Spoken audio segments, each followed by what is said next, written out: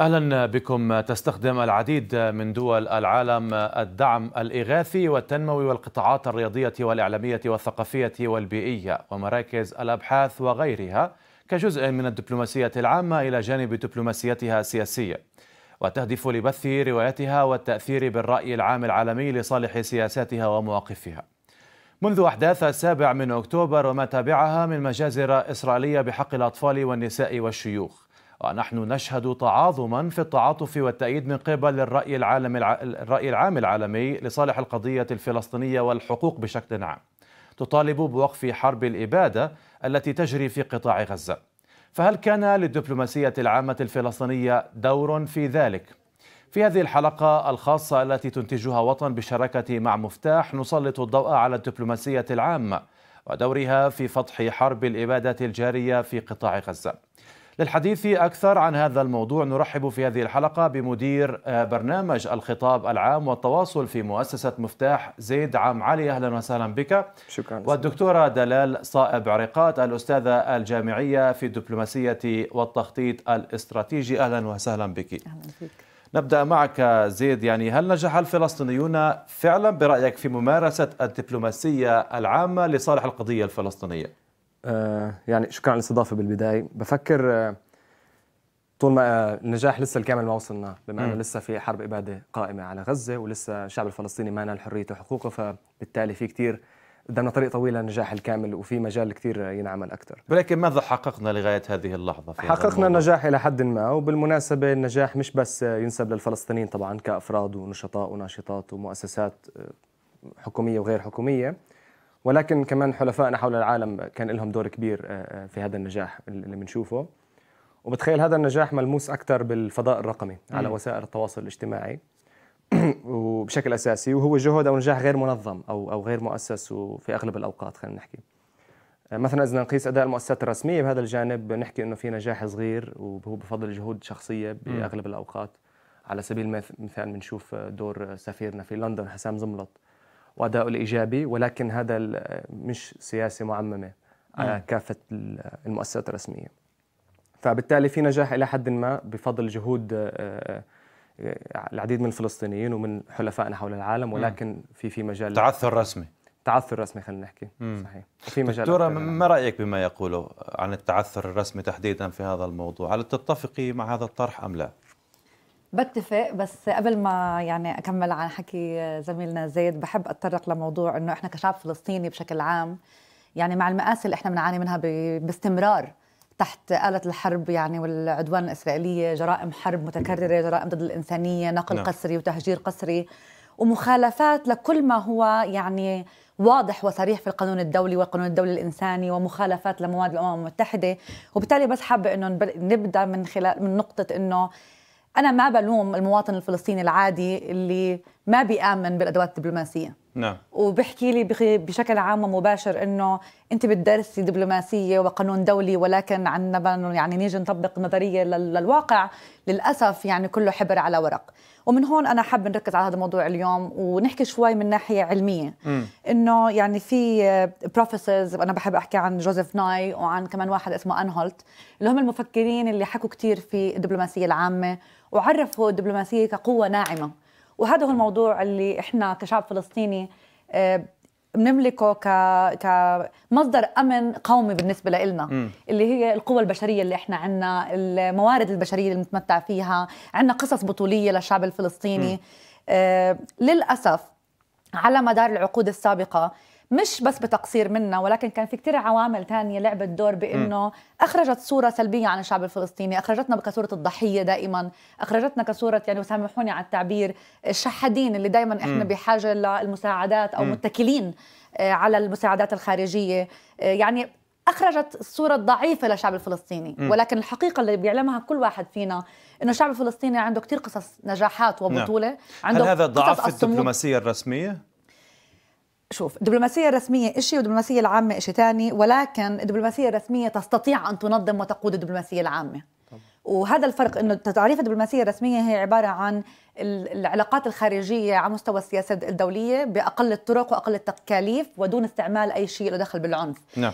هاي بتكون عبارة عن قنوات رسمية من خلال بشكل عام وزارات الخارجية بتمثيل دبلوماسي اللي طرقت عليه أنت مثل بعمل السفراء وغيرهم. نعم. وهون بحب أنوه إنه يعني الوظائف الدبلوماسيين حسب القانون الدبلوماسي الفلسطيني وحسب القوانين الدبلوماسية الدولية لا يعني لفيينا ب ب 61 و 63 قانون العلاقات الدبلوماسية والقنصلية. وظائف الدبلوماسي واضحة جدا. مهمة الدبلوماسي وواجبه اخلاقيا وقانونيا إنه يمثل شعبه ووطنه وقضيته. ورقم اثنين الجالية. وبالتالي ما يقوم به طبعا سفيرنا في لندن وأنا بحترمه جدا وهو عزيز نعم. صديق آه، صديق عزيز علي يعني.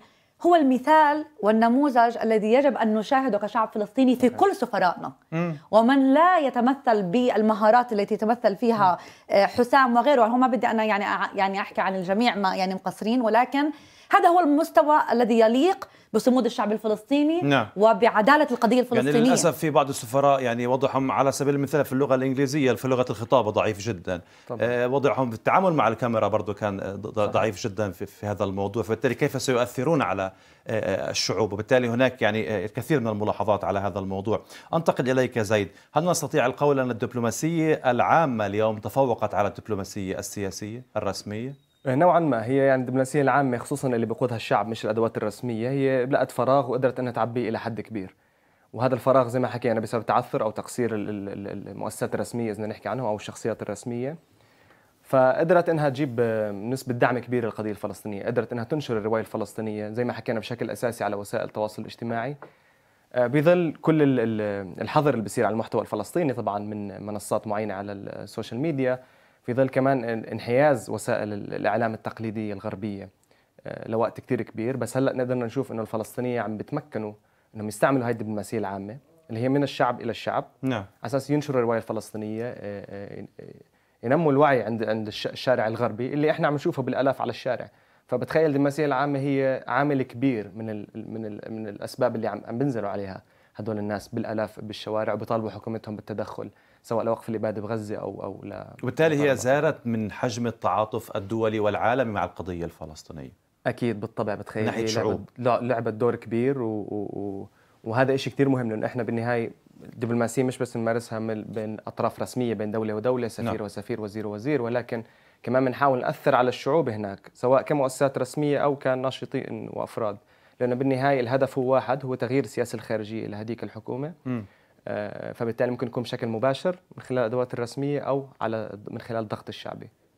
دكتورة هل استطاعت الدبلوماسية العامة التاثير على الحكومات ليس فقط على الشعوب وهل من أمثلة على هذا الموضوع؟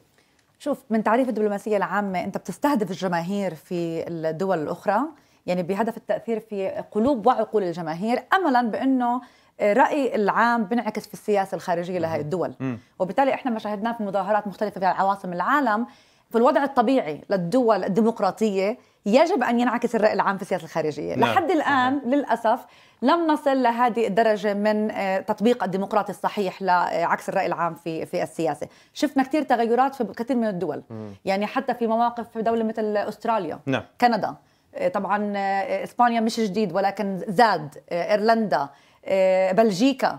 يعني في تغييرات حتى بريطانيا. يعني صار حتى أمريكا لحد ما. كيف أمريكا ولكن أنا عم بحكي و... آه. على مستوى تأثير الرأي ولكن العام. ولكن في المقابل خسرنا ببعض الدول مثل الهند على سبيل المثال. آه شوف الهند من يعني علاقتهم الدبلوماسية مع إسرائيل قوية جدا لعدة عوامل. طبعا منها الصراع اللي هم طبعا بيعانوا منه تاريخيا. آه وكمان بدناش ننسى أهمية عامل المصالح. يعني إسرائيل نجحت. بأنها تكسب كثير من دول العالم بعلاقات ثنائية على أساس إنه هي الدولة المتفوقة تكنولوجيا وال startup nation وهذا الكلام له دخل بالتواصل والاتصال. نعم. ولكن صار في تغيير من خلال الدبلوماسية وهون بدي أتطرق من الموضوع الدبلوماسية الرقمية في الدبلوماسية العامة. وخاصة مثلا لما بنحكي عن التويت دبلوماسي اللي هي دبلوماسية تويتر. إحنا كشعب فلسطيني مقصرين جدا جدا جدا. يعني هو إحنا لما بنقيس تويتر دبلوماسي بنقيسها من خلال مقياس موجود في مركز دراسات في في تركيا بقيسها على أساس الصفحات الرسمية لوزارات الخارجية أو المنظمات الرسمية لكل دولة على تويتر. هلأ نحن إذا طلعنا مثلا على صفحات منظمة التحرير الفلسطينية أو على صفحات وزارة الخارجية الفلسطينية انت لازم تقيسها من خلال اللغات المستعملة الرسائل نعم. اللي بتنبعت قديش بيتم ال retweeting على هاي منصة إكس sorry إحنا عم نحكي تويتر طول الوقت بس هيك اسمها صحيح صحيح. فبنشوف إنه إحنا أدائنا كفلسطينيين على المستوى الرسمي وعلى المستوى الشعبي خلينا نكون صريحين مع أنفسنا. صحيح. يعني إحنا كفلسطينيين موجودين على ساحة منصة إكس من متفاعلين مع العالم سياسيا لأنه منصة إكس معروفة إنها هي مكان الفضاء الاجتماعي السياسي. وأنا يعني من هون بدي يعني أبعث رسالة من خلالكم. إنه إحنا كشعب فلسطيني ممكن من خلال المدارس حتى وزارة التربية والتعليم.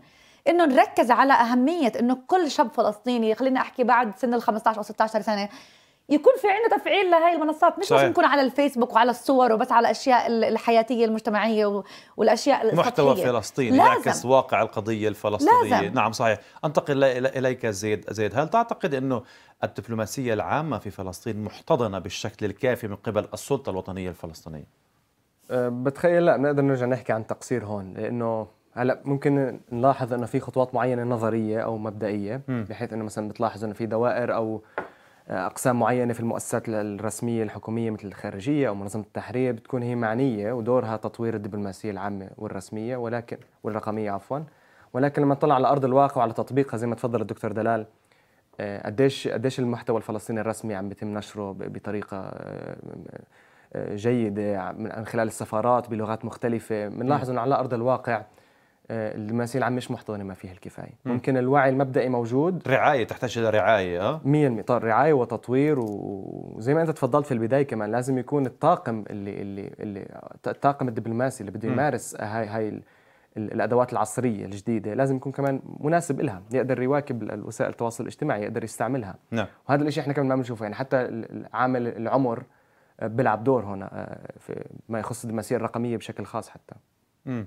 طب دكتورة ما المطلوب إلى جانب الأمور اللي ذكرتيها سابقا موضوع الترجمة واللغات وإلى آخره ما المطلوب أيضا من السلطة الفلسطينية حتى يكون هناك رعاية بشكل صحيح للدبلوماسية العامة شوف مطلوب على مستوى الدبلوماسي الرسمي اولا من السلطة الوطنية الفلسطينية ووزارة الخارجية بالتحديد إنها فعلا تفعل هاي الأدوات وإنها تنفذ القانون الدبلوماسي الفلسطيني بالدرجة الأولى مم. يعني اليوم إذا طلعنا إحنا على الجهاز الدبلوماسي أو على ممثلين فلسطين حول العالم بتلاقي كثير مخالفات صحيح. للمواد 18 19 و20 بما يخص العمر زي ما تفضل الأستاذ زيد بما يخص سنوات الخدمة مم. في تجاوزات ومخالفات كثيرة للقانون من رأس الهرم يعني مم. القانون الدبلوماسي الفلسطيني رائع من ناحية النظرية رائع جدا.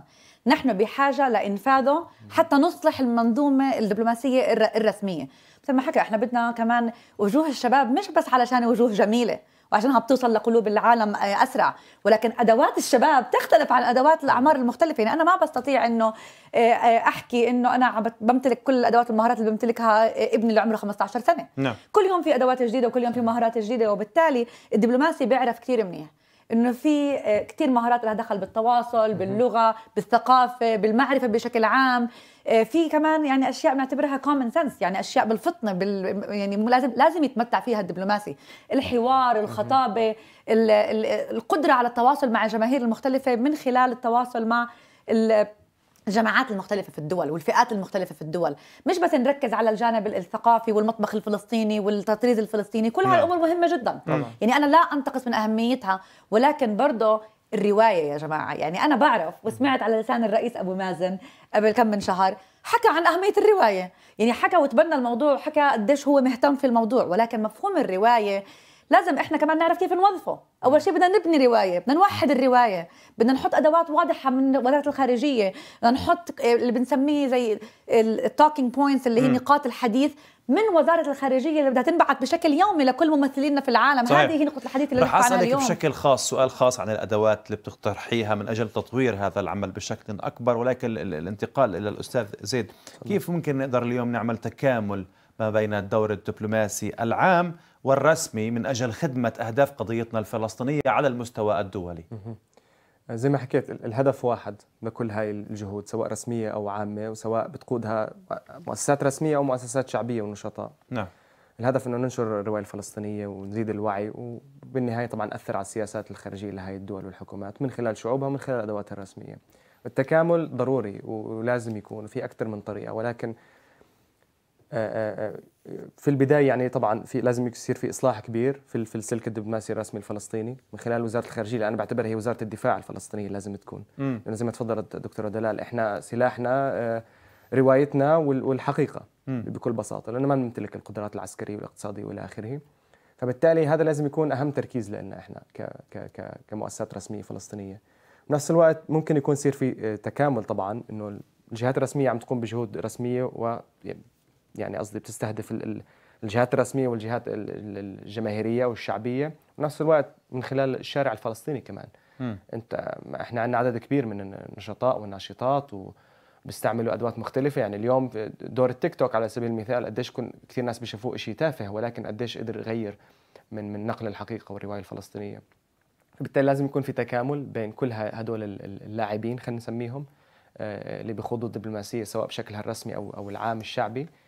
وطبعا بسوى يكون في تنسيق بين كل هالأدوات طبعا في الوضع المثالي. آه، زي ما تفضل الدكتور يكون الرسالة والهدف موحد وإنه نقدر ننشره من خلال أكثر من قناة القنوات الرسمية والعامة والرقمية وإلى آخره. فيعني المجال للشغل والتكاملية كثير واسع والأفق كبير للعمل.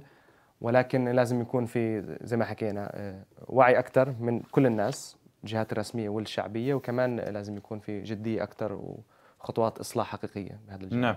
دكتور يعني قطعتك قبل قليل لما كنت تحكي على موضوع الأدوات والوسائل التي يجب استخدامها. ما هي الأدوات والوسائل الأمثل من أجل تطوير واقع الدبلوماسية العامة حتى تصل لاكبر قدر ممكن من العالم؟ عندنا كثير أدوات موجودة وإذا إحنا فهمنا أصلا شو مفهوم الدبلوماسية وشو مفهوم التواصل الاستراتيجي لو ركزنا على فكرة إنه إحنا بدنا نكون جذابين للعالم إحنا نعم. ما بدنا ننفر العالم منا يجب علينا أن يعني أن نظهر أجمل ما لدينا سواء كان من خلال التطريز أو الطعام أو قصص النجاح عندنا رسامين عندنا فنانين عندنا راقصين عندنا ممثلين عندنا في الاكاديميا عندنا في الشعر في الكتابة في الرياضة في كل نعم. أنواع الفن والرسم لازم نوظف كل هاي الأدوات. يعني عندنا كثير قصص نجاح وبطولات وبالتالي لازم نركز على عامل الجذب وما يجمعنا مع شعوب العالم حتى نصبح أكثر أكثر جاذبية لهي الشعوب. وإنهم يشوفوا في مصلحة لهم بالتعامل معنا. لازم نركز على هذا المنطلق. مش دائما نفكر بس بإنه منطق الحق والعدالة هو اللي رح يوصلنا. للأسف للأسف كنت أتمنى إنه يعني مبادئ حقوق الإنسان والقيم الإنسانية هي اللي رح تسود. اليوم ولكن المصالح هي اللي بتسود اليوم. طبعا. فعشان إحنا نوصل للعالم كله ونأثر فعلا ونكسب هذا العالم لطرفنا إحنا بحاجة أن نكون عن جد أكثر جاذبية وأن نفكر كيف نعم. نصدر ما هو جميل لدينا ما هو إيجابي لدى الشعب الفلسطيني ولدينا الكثير الكثير. هلأ إحنا كشعب فلسطيني غير قصص الصمود والبطولة والنجاحات عندنا قصص نجاحات تتعلق في المرأة مثلا. يعني إحنا لدينا الكثير من مثلا نجاحات تتعلق في الشباب في الرياضة.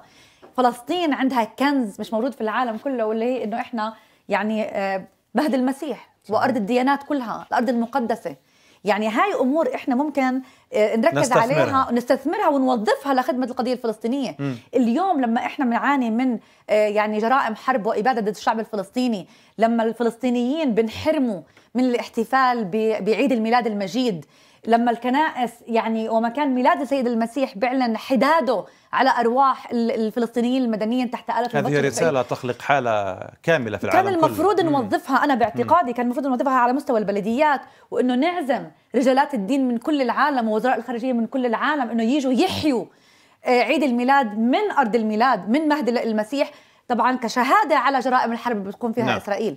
يعني إحنا لازم شوي وهذا لم يتم نغير استثماره بالشكل الصحيح.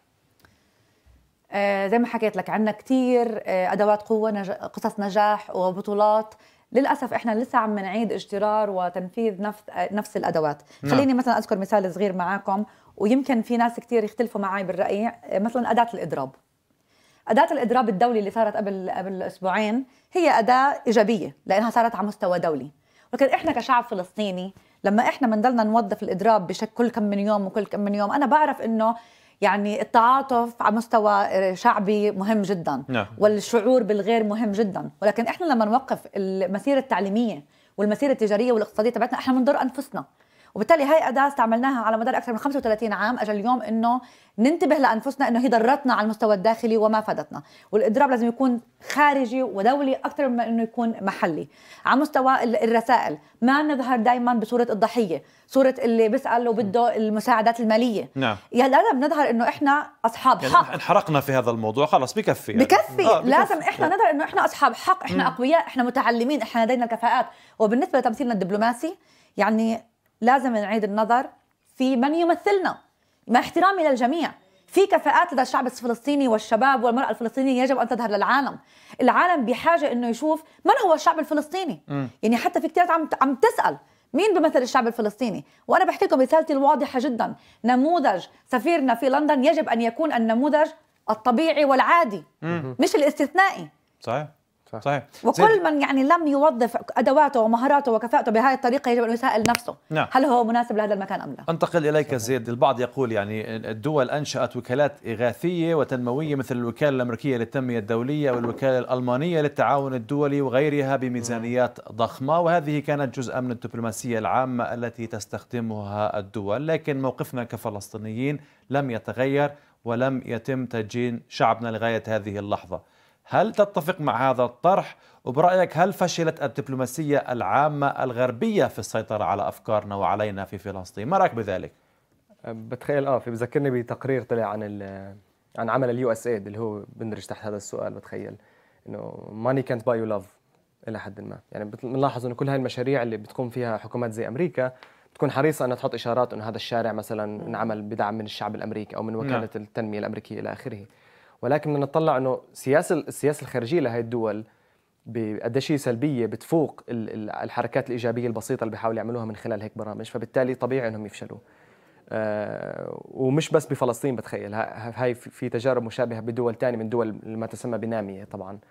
لأنه في كثير من الدول حريصة إنها تقدم دعم آه، تنموي خلينا نحكي آه، لهي الدول اللي هو بيندرج تحت طبعا مفهوم الدبلوماسية العامة. ولكن لازم يراجعوا سياستهم الخارجية وقديش ضررها السلبي أكبر بكثير من هاي الخطوات الصغيرة الإيجابية بيعتبروها نعم.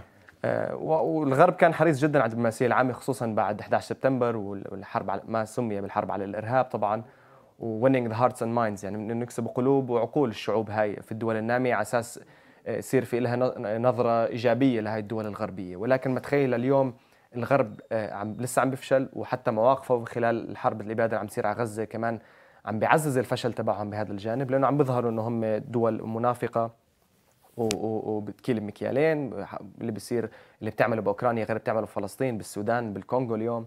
آه، فبتخيل آه، مهما حاولوا يعملوا خطوات زي هيك عفوا من خلال المشاريع التنموية لازم يراجعوا سياستهم الخارجية ومواقفهم السياسية أيضا. آه، أنتقل إليك دكتورة ما تأثير المال على موضوع الدبلوماسية العامة؟ هل نستطيع أن نعمل دبلوماسية عامة بدون مشاريع؟ وبدون دعم خارجي مشروط وكل هذه المواضيع ما رأيك بذلك؟ بأكد إنه طبعا نقدر. مم. أكيد وجود الأموال والمصادر المختلفة بيساعد وبيعزز وبيقوي. ولكن زي ما حكيت عندنا بطولات وعندنا قصص نجاح. وعشان ما نجد حالنا كثير معلش لازم أحكي من خلالكم إنه فلسطين عملت بيكا. اللي هي الوكالة الوكالة الفلسطينية للتعاون الدولي. نعم. آه، وهي يعني بتندرج كدائرة تحت وزارة الخارجية الفلسطينية وعملهم هو يعني بيستهدف الجماهير في العالم المنكوبة اللي بيعانوا مثلا من زلازل وشفنا يعني كثير من الأمثلة في دول بأفريقيا في مساعدات مثلا لها دخل في الكوارث الإنسانية في أمريكا اللاتينية في تركيا لما صار الزلزال. يعني في لها كان شغل وكان جميل وكان إيجابي جدا. ولكن إحنا بحاجة للمزيد مم. يعني الدبلوماسية العامة مرة أخرى مش دائما لازم بس يكون فيها وزارة الخارجية أو الجهات الرسمية صح. يعني بدي أحكي لكم مثلا مثال الملكة رانيا الملكة رانيا إحنا كان ممكن على المستوى الفلسطيني يعني واعذريني يا ملكة جلالة الملكة على التعبير كان ممكن إحنا نستغل ظهورها ورسائلها أكثر في شخصيات كمان كتير تانية فنانين وممثلين عرب وفلسطينيين أو مؤثرين ال influencers هدول يعني اللي بيوصلوا لمليارات المشاهدين وال followers في العالم.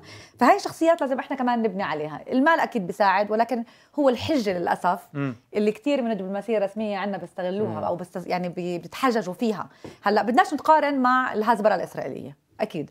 لأنه الهزبره أو يعني اللي هي وكالة الإعلام أو التواصل الإسرائيلي وتوظيفهم للتواصل الاستراتيجي في قلب الحقائق هي دائرة عندهم بمكتب رئيس الوزراء مش بس وزارة يضخ عليها ملايين الدولارات. بضخوا فيها سنويا. نعم. وبداية الحرب يعني مش بس دبلوا الميزانية ضاعفوها يعني اضعاف أضعاف ولكن رغم ذلك تشير معظم التقارير إنه ما زالت الرواية الفلسطينية هي الأكثر انتشارا على مستوى صحيح. العالم وهون سؤالي إليك زيد م. يعني آه، آه، مواقع التواصل الاجتماعي كيف ساهمت في هذا الموضوع آه، كيف بنقدر ندمج نوسع موضوع الدبلوماسية الرقمية على أبعد مدى من أجل دعم الدبلوماسية م. العامة له علاقة بالسؤال اللي قبله لأنه فعليا العمل الدبلوماسي الرقمي ما بتطلب كثير من الموارد حتى أدوات زي بيكا كمان ما تتطلب كثير موارد لأن هي موارد بشرية أنت عم تستثمرها عم تستثمر خبرات الفلسطينيه اللي عندنا منها كثير إحنا بس إذا ناخذ ونقارن طبعا على المستوى الرقمي آه، فعليا هي تكلفة جدا بسيطة. آه، يعني حتى إذا بدنا نقارن مع الجهود الحسبراء الإسرائيلية نعم. بالرغم إن هم بيحطوا ملايين عليها ولكن بنشوف إنها بتفشل على وسائل التواصل الاجتماعي آه، بسبب إنه إنه في في ضغط كبير من الفلسطينيين وحلفائهم برا بتفنيد البروباغندا الإسرائيلية طبعا. فالموضوع أنا برأيي ما له علاقة كثير بالموارد المالية. إحنا فعليا ما بنحتاج كثير منها عشان نعمل دبلوماسية رقمية أفضل. والرواية الفلسطينية بتضل طاغية طبعا وفي أكثر من عامل. يعني طبعا عامل استمرار الحرب وإنها طولت في غزة فبالتالي أنت بتشوف آه، صور ضحايا ودمار من جانب واحد. آه، على سبيل المثال بالبداية كان من طرفين كان في فكان في تعاطف إلى حد ما طبعا مع البروباغندا الإسرائيلية. ولكن كل ما طالت الحرب كل ما زاد التعاطف مع الفلسطينيين. بنفس الوقت كل ما كل ما صارت حروب أكثر على غزة للأسف هي مش أول مرة. كمان بصير في تراكم بالرأي العام الغربي وبصير في زيادة بنشر الوعي. والمصادر موجودة يعني بغض النظر عن البروباغندا الإسرائيلية صاروا النشطاء والفلسطينيين بالساحة الرقمية لحالهم يروحوا يطولوا روابط ومقالات ومعلومات و بدون تنظيم بدون جهات رسمية وراهم عشان يحاربوا هاي البروباغندا الإسرائيلية. وبرأيي يعني البروباغندا الإسرائيلية فشلت إلى حد كبير آه، بالفضاء الرقمي بشكل نعم. أساسي ولكن في محلات ثانية كمان. ذكرتيني بصراحة دكتورة في قضية سابقة شفتها على وسائل التواصل الاجتماعي عندما ذكرت قضية تغيير وتجديد الأدوات. يعني آه، إحدى الفيديوهات اللي علمت على مستوى العالم آه، وحظيت بمشاهدات عالية ضخمة بشكل كبير. آه، قطة في قطاع غزة ما بين الردم تحاول الخروج من الردم. كان انتشارها واسع أكثر من صور كثير للأسف ضحايا بشرية تقتل على مدار الساعة في قطاع غزة. كيف بتقيم هذه المواضيع؟ هذه الحقيقة. هذه الحقيقة اللي إحنا لازم نصحصح لها.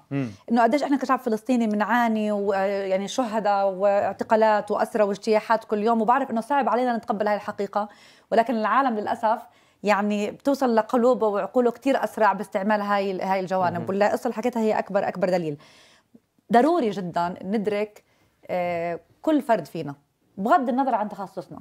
مسؤولية كل واحد فينا نعم. مسؤوليتنا أنا في كثير ناس بيحكوا لي طب إحنا مثلا ما عندنا وعي سياسي كافي أو مثلا ما بنعرف ثقافتنا السياسية مثلا مش مش كبيرة معلش انت مش مطلوب منك تكون محلل سياسي صحيح.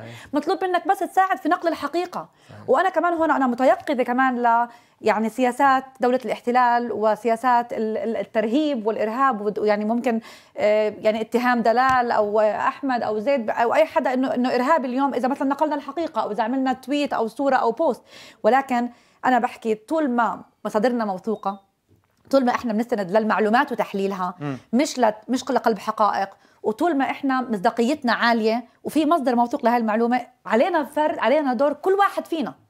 كل واحد فينا عليه دور ومسؤولية. يعني ما نضلنا نقول ما هو دور وزارة الخارجية ما هو دور السفير. okay الكل عليه التزام والسفير هذا واجبه الاخلاقي والقانوني لأنه أصلا بتقاضى معاشه آخر الشهر صحيح. من الشعب الفلسطيني. ولكن برضه إحنا نعم. كمواطنين فلسطينيين علينا مسؤولية ولازم ندرك أهمية دور الفرد.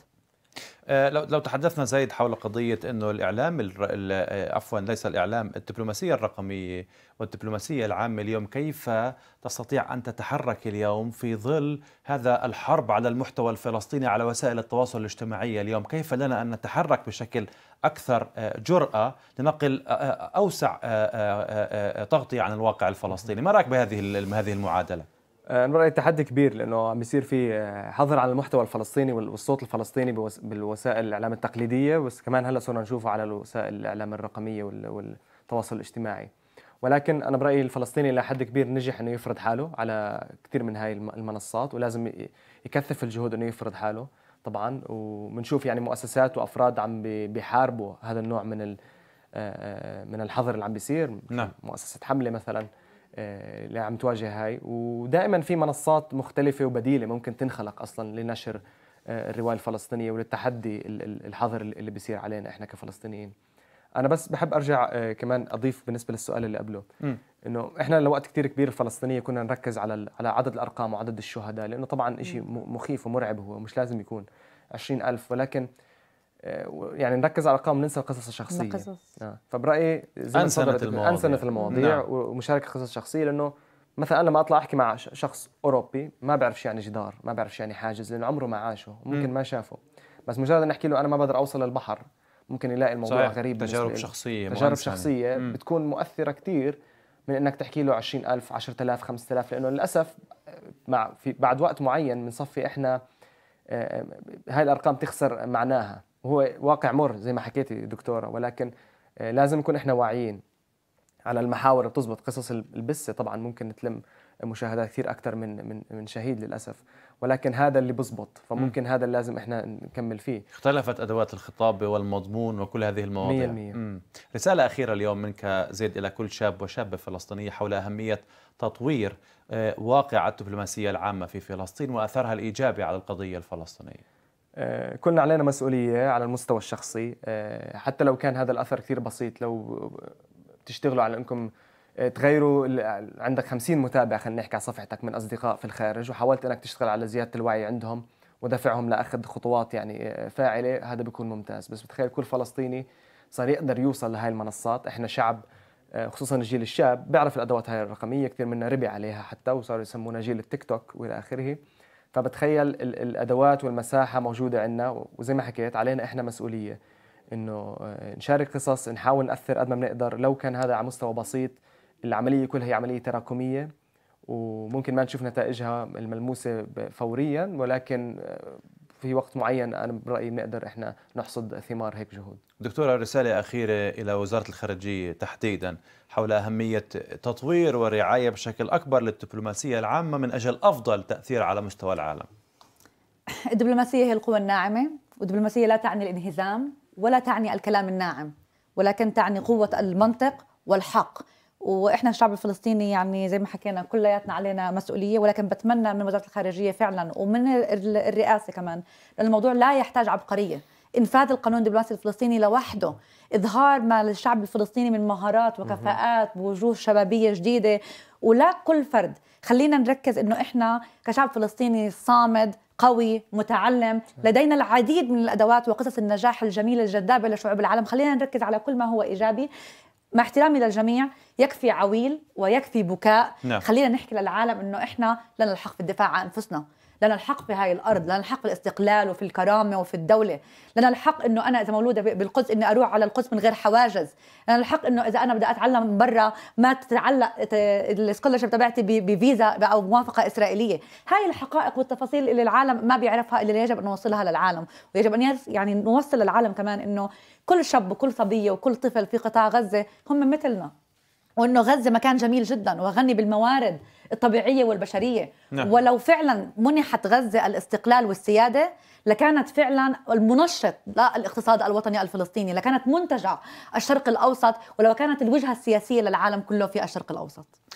نعم إلى هنا وصلنا إلى نهاية هذه الحلقة آه، الخاصة التي تحدثنا فيها عن الدبلوماسية العامة والفرق بينها وبين التقليدية ودورها في فتح حرب الإبادة الجارية في قطاع غزة. أشكر مدير برامج الخطاب العام والتواصل في مؤسسة مفتاح زيد عام علي والدكتورة دلال صائب عريقات الأستاذة الجامعية في الدبلوماسية والتخطيط الاستراتيجي.